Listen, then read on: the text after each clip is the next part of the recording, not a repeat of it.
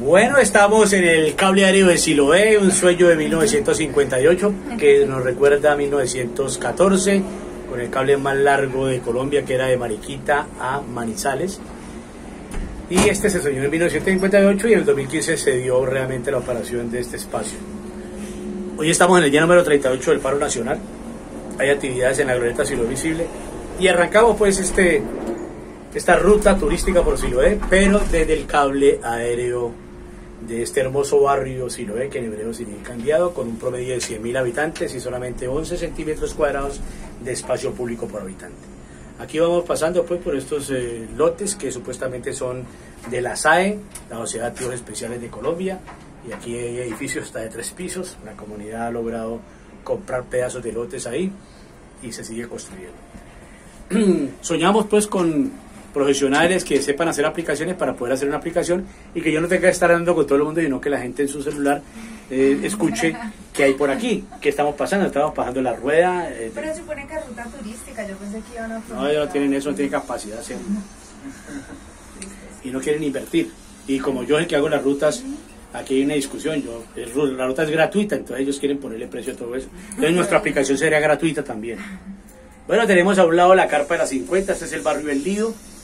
Eh, nótese que este barrio, eh, las ventanas que ustedes ven no van hacia Siloé, nos dan la espalda siempre. El arquitecto que diseñó todos estos apartamentos nos, da la espalda eh, porque no quiere relacionarse con la gente del barrio Siloé. Entonces todos sus frentes están dentro de el espacio de ellos. No ven la hermosura de esa, de esa loma que en la noche es, es privilegiada pues tener esa panorámica. Al fondo los farallones de Santiago de Cali. Estamos pasando por el colegio Eustaquio Palacios.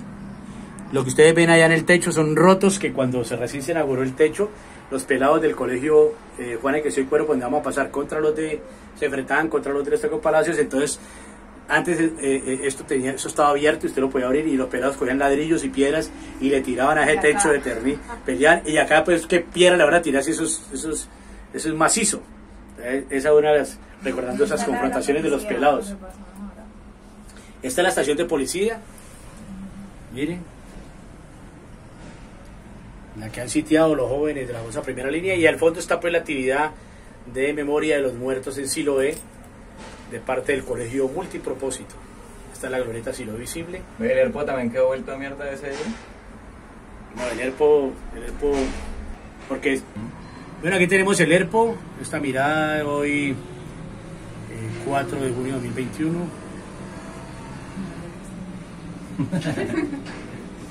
Ahí está pues la glorieta, si la glorieta que le llaman la resistencia. Y eso que ustedes ven es el ERPO. Pobre que encuentran por ahí. No, y mira toda la cantidad de tejas y todo ese cuento. ¿Y ese, que, eso de allá que es un estadio? Allá es el Coliseo del Pueblo. Gracias. El velódromo también, la Plaza de Toros. Los Juegos Panamericanos son el que le da el crecimiento a la ciudad en el sur de Cali porque son todos esos escenarios deportivos, porque acaso estaba solo, acá Cali esta parte no, no, no